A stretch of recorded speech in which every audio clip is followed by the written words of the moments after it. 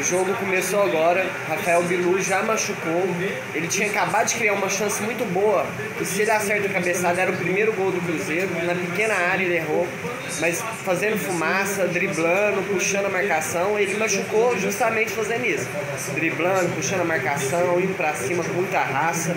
Entrou o Wesley, que é aquela canseira de sempre, né? Vamos ver se ele desencanta. Nada melhor do que hoje. Sentiu que.